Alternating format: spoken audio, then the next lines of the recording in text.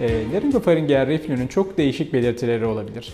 Birçok hasta, gastroözofageyal reflü hastaları özellikle göğüs arkasında bir yanmadan bahsederler. Midesinde hazımsızlıktan bahsederler.